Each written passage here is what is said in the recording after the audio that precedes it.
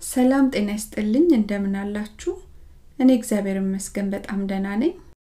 በዛሬው ቪዲዮ በጣም ቆንጆና ጤናማ ለመስራት በጣም ቀላል የሆነና ለየት ያለ የዱባ ዳቦ አሰራር ይዤላችሁ ቀርብ ያለው አብራችሁን ቆዩ።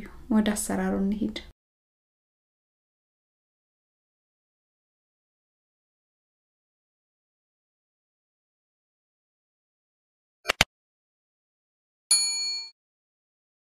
ለዳቦ አነስ ያለ ዱባ ነው የምጠቀመው።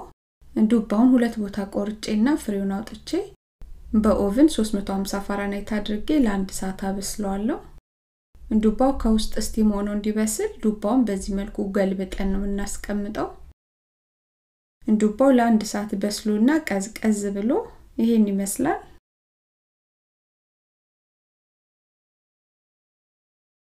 የዱባው ልጣጭ ከላይ ያለው በእጃችንም ቢሆን በቀላሉ መላጥ እንችላለን። ዱባውን በዚህ መልኩ በማንኪያ እያደረኩ ወደ ጎድጓዳ ሳህን ውስጥ አደርገዋለሁ።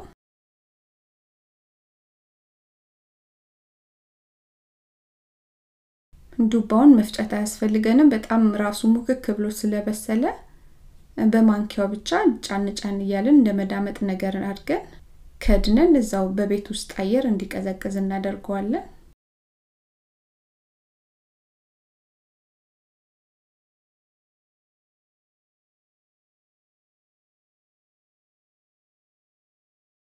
በማቦካበት እቃ ውስጥ ሁለት ኩባያ ዱቄት አድርጌ አዘጋጅቻለሁ።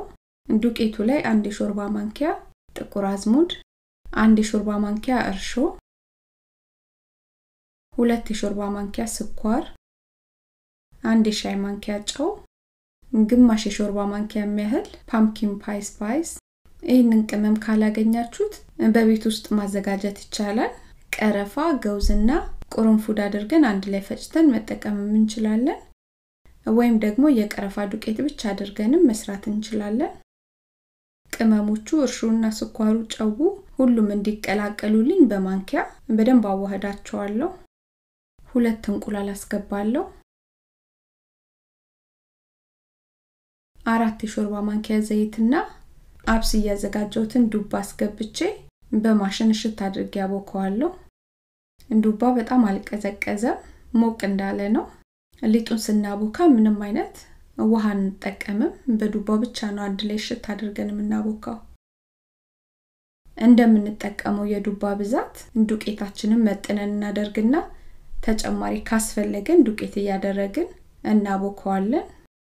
እኔ መጀመሪያ ሁለት ኩባያ ዱቄት ነበር ያደረግኩት ተጨማሪ ግን አንድ ኩባያ ዱቄት አድርግ ያለው አብኩቼ ጨርሻለሁ ሳቦካ እኔ ተጨማሪ አንድ ኩባያ ዱቄት አድርጌን ያቦካሁት። ሊጡን በዚህ መልኩ አስተካክየዋለሁ። ለአንድ ሰዓት ወይም በደንብ ኩፍ እስኪልልኝ ድረስ ሸፍኜ ሞቅ ያለ ቦታ ላይ አስቀምጠዋለሁ። ሊጡ ከአንድ ሰዓት ተኩል በኋላ ይህን ይመስላል። እቃው ሙልት አድርጎ ነው ኩፍ ያለው። ተጨማሪ ዱቄት ስላስገባው ሊጡ ከምፈልገው ሊጥ በላይ ነው የሆነው ግማሹን ከፍዬ ስድስት ቦታ ቆራርጥና አድቦል ብዬ አዘጋጀዋለሁ።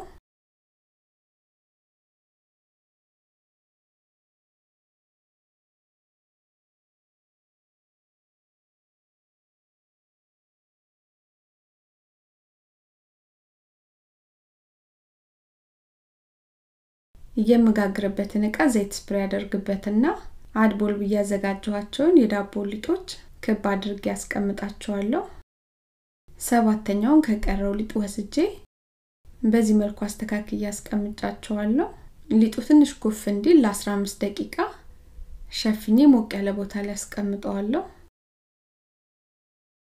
የቀረውን ሊጥ አራት ቦታ ቆራርጬና በዚህ መልኩ አስተካክዬ ማብሰያ ትሬ ላይ አድርጌዋለሁ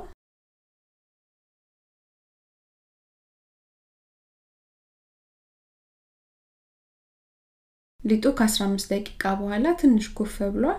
አንድ እንቁላልና አንድ የሻይ ማንኪያ የሚያህል ወተት አንድ ላይ በደንብ መትቼ ከላይ ሊጡን ዙሪያውን እቀባዋለሁ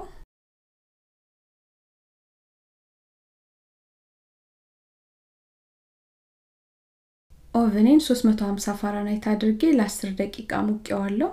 የዳቦ ሊጥ አስገባና ተመሳሳይ 350 ፋራናይት አድርጌ ለ40 ደቂቃ አብስዬው እመለሳለሁ። ዳቦ ከ40 ደቂቃ በኋላ ቆንጆ ሆኖ በስሎ ወጥቷል። ሽታው ራሱ ልዩ ነው። በዚህ መልኩ ሰርታችሁ ሞክሩት።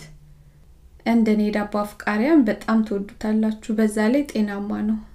ሰርታችሁ ሞክሩት። ምርጥ ነው።